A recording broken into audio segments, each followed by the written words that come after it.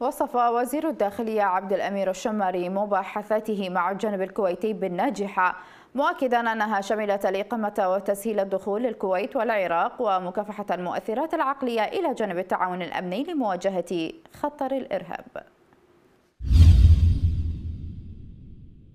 حقيقة كانت هذا اليوم زيارة ناجحة مباحثاتنا كانت ناجحة مع الأخ وزير الداخلية. وأجرينا عدة جولات من المباحثات ضمنت عدة محاور من عندها موضوع الإقامة وتسهيلات الدخول بين العراقيين والكويتيين في المنافذ الحدودية.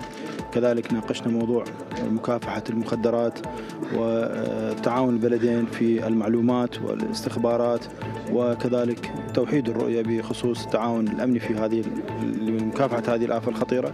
وإن شاء الله سيحضر معالي وزير الداخلية الاجتماع الأمني الذي سيعقد في بغداد يوم 22 تموز من هذا الشهر.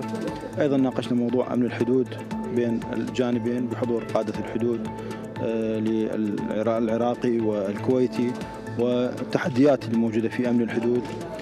كذلك ناقشنا موضوع مكافحة الجريمة المنظمة ومكافحة الإرهاب.